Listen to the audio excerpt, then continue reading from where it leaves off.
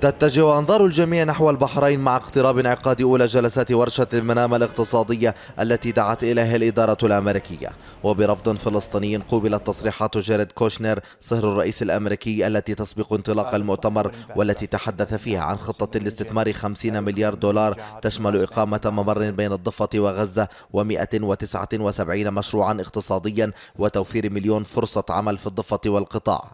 مسؤولون فلسطينيون أكدوا أن الحل السياسي هو أساس كل شيء. قال إحنا معركتنا متواصلة. سنبقى نرفض سنبقى نواصل لن يكتب النجاح لهم. هكذا الرئيس قال كل أموال الدنيا لا تساوي ذرة تراب من فلسطين. وبالتالي عقلية الصفقات عند رعاة البقر من أمثال ترامب وكوشنير ما بتنطبق علينا. وما يحاول أن يقدموه من عسل وهمي يغلفون به السم السياسي لهذه الخطة. لا يمكن أن يبتلع من قبل أحد من الجانب الفلسطيني.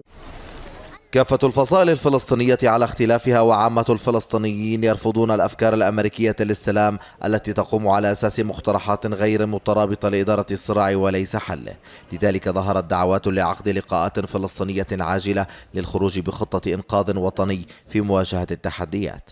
علينا أن نعمل من أجل عقد آه، لقاءات وطنية مؤتمرات وطنية من أجل الإنقاذ الوطني مفتوحة للجميع ويطرح فيها آه، ما الذي ما هو المستقبل الذي نريده في ظل المخاطر القائمة وفي ظل إفشال هذه الصفقة وتداعياتها المختلفة على الشعب الفلسطيني؟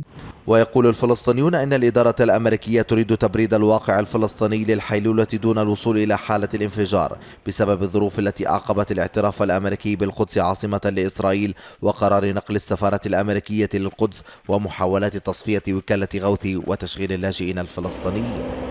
وفيما تعبد الإدارة الأمريكية طريق السلام وحل الصراع بين الفلسطينيين والإسرائيليين بالأموال فإن رفض الفلسطينيين لأية حلول لا تنهي الاحتلال وتعطيهم حقوقهم كاملة هو مطلبهم الأساسي. فكل الأموال والأفكار الأمريكية تعتبر ذرا للرماد في العيون من وجهة نظر فلسطينيين. ضياء حشية الغد. رام الله.